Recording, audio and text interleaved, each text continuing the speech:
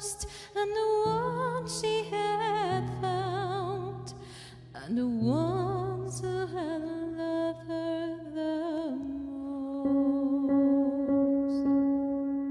The ones who'd been gone for so very long she couldn't remember the names. They spun her around on a double stone.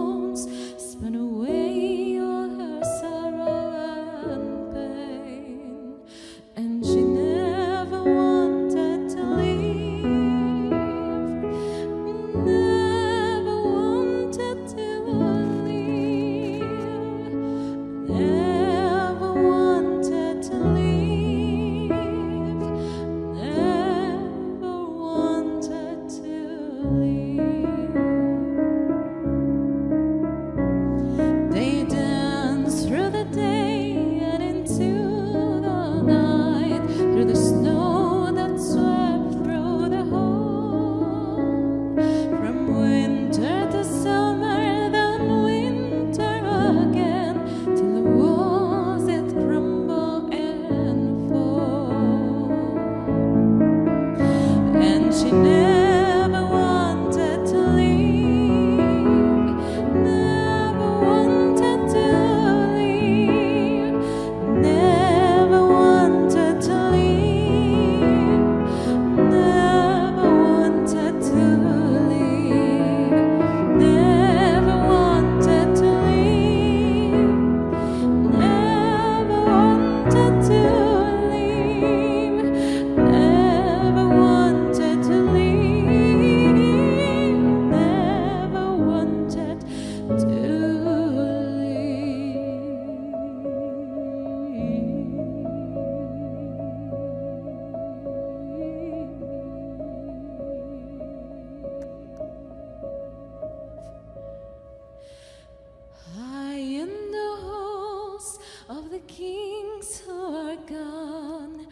Jenny would dance with her ghosts,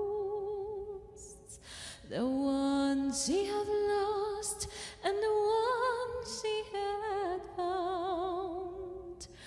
and the ones who had